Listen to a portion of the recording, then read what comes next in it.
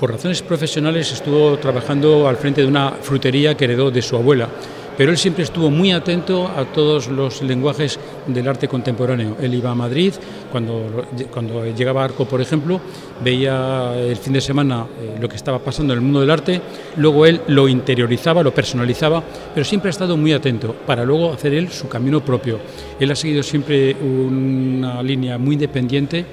y eh, en este sentido digamos que está atento a la modernidad, pero con un criterio y con una línea absolutamente personal. Y después él ha manejado muchos lenguajes, porque él ha trabajado, es un grandísimo dibujante, trabaja muy bien con el carboncillo, con el lápiz, pero también trabaja con las tijeras, recortando y trabajando con el, con el collage, hace unos collages eh, absolutamente deliciosos, muy sutiles, muy limpios, y también trabaja al óleo, por supuesto.